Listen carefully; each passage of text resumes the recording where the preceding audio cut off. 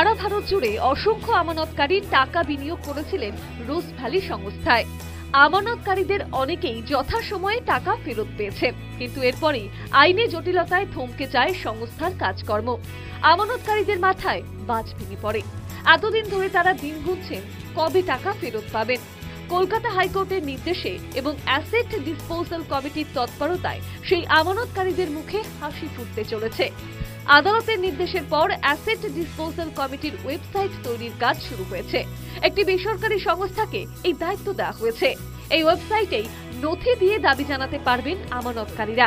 সবকিছু ঠিকঠাক চললে আগামী বছরের জানুয়ারি মাস থেকেই শুরু হয়ে যাবে টাকা ফেরতের প্রক্রিয়া।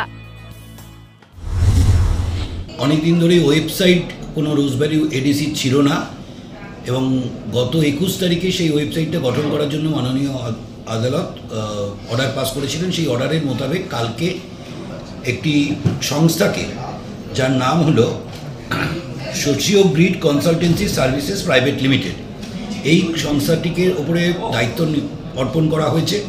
তারা রোজভ্যালির আমানতকারীদের পক্ষে এবং ওয়েবসাইটটা তৈরি করবে এডিসির পক্ষ থেকে।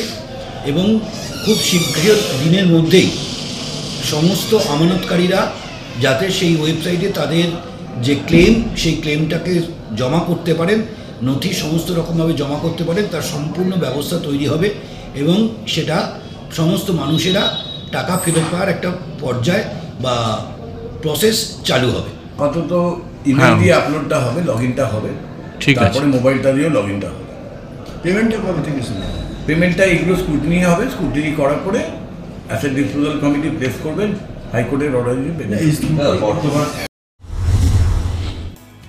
রাজ্যে রোজভ্যালি প্রথম সংস্থা যারা আমানতকারীদের টাকা ফেরত দিতে চলেছে। এর ফলে উপকৃত হবেন অসংখ্য আমানতকারী।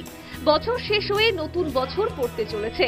রোজভ্যালির আমানতকারীদের কাছে নতুন বছরে এটাই হতে চলেছে সব থেকে বড় উপহার। News time.